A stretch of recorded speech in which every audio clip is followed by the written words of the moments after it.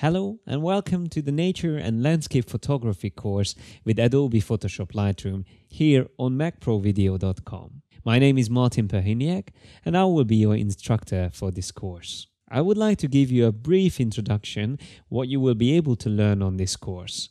Among many other things, we will talk about how to create HDR images using Lightroom and Photoshop together.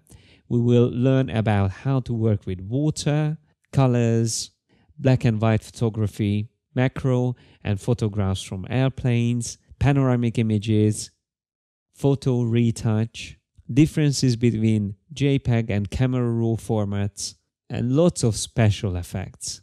As I said, this is just a brief introduction, but there are many other things that you will be able to learn from this course. I hope you will join me and I hope you will enjoy it. So let's get started.